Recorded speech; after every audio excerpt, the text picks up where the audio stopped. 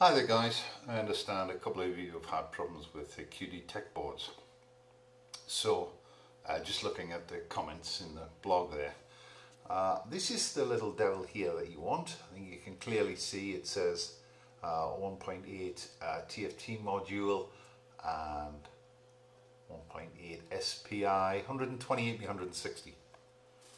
What you don't want is this one because it looks similar but it isn't the same.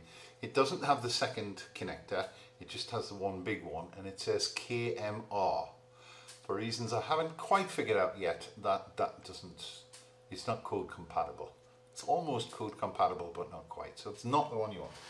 So these are the ones that I'm uh, using, 1.8 TFT. It has a big connector which I don't use and a small connector which I do. And I think you will probably be able to read that. This one here, ground backlight, which is 3.3 volts, VCC, which is 5 volts, clock, D in, DC, CS, and reset. Right, so that's the board. Right, so here's one I prepared earlier. This is a pretty standard Chinese ESP12 board no resistors or anything. And there is the board. There. So what we're going to do we're going to plug this in. And it is going to show a white screen. Okay when I'm looking at this, I'm seeing it in reverse on my screen, so that's why I keep moving the wrong way. Right, so um, I'll, I'll put this down a second, and I'll show you that I have um, Pete's terminal here, serial terminal, and if I hit the debug button, nothing happens because I've had it disconnected, haven't I? Right, uh, hit the debug button and up here somewhere, code version 2.202, which you get off the web. Now, if it's not 2.1, I think, best to get 2.2. If it's not that, it doesn't have the commands to run those boards. So, and I'm using, in this case, SDK version 2.1, but if you've just flashed the boards, then you're not concerned with that. So that works, okay? So if we, um, how can I do this without putting in my teeth? Hold on, see if I can, yeah, kind of. There's the USB lead there, and there's the display. So what I'm going to do here, the string I'm going to hit is the one um, I think you've all seen, QD string uh, um, not percent dollars capital S dollars P etc um, well if I take QD string um, I don't know if you can see that there. Just QD string dollars S. And I run that you see that it clears the screen. If I run the big one, try and bring that a bit closer for you, what you'll see happens is that the screen clears and of course I have it upside down and we get the the test which is not going to focus no matter what I do uh, which says, hello, uh, 180010, 26th of the year 2017, because that's what the time is now. And if I select that again, you get the time later on. So there you are, it's, it's in focus. So that's it, that's a standard ESP8266. Just, I'll tell you what, I'll, the version numbers and that, I'll put them on overlays on the screen so that you can see them. Uh, that's a standard USB from the computer uh, we're talking serial now. That's exactly the same as if I'd sent it by MQTT. And as you can see, it works. Now, it just so happens that I have another one of these. So just in case anyone thinks that's a fluke, I'm going to, my connector's falling to bits here. I'm going to take that one out. I don't recommend you do this plugging stuff in live. Do as I say, not as I do. Um, can I get away with this?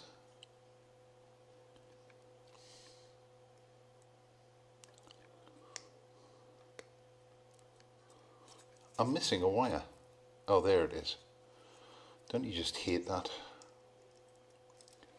Uh, unfortunately, you can't really see a great deal here, but I'm plugging this in just in order there.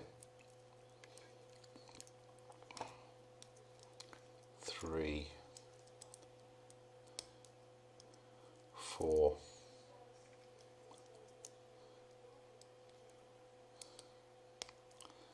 five, six, and then the final two, um, what do we have? We have reset, which is the top one, and then we'll plug the other one in. In there. Okay, so again you've got that white screen. If we send the selected string uh, nothing happens. So I think the reason for that will be the shortcuts I've taken with reset and that you've got to reset the board so that they're in sync um, and then send the QD string here and I've just killed the port. That's good, isn't it? It's got nothing to do with anything, that's just me pulling things out and plugging them in when really COM6 serial on. Debugs working. And what was it again? It was the QD string. QD string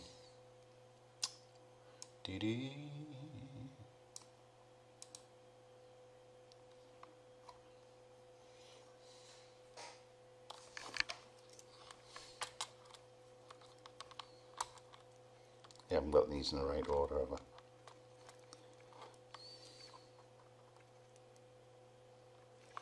Yeah, I've got the white and the black the wrong way around. Sure enough.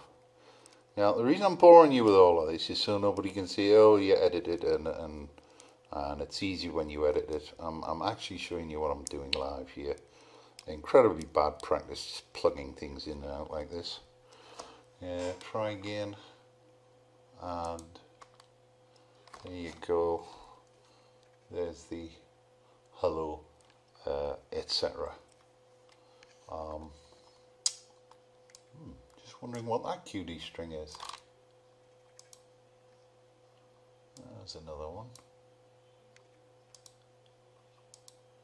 Oh that's some lines. That was me messing around with lines.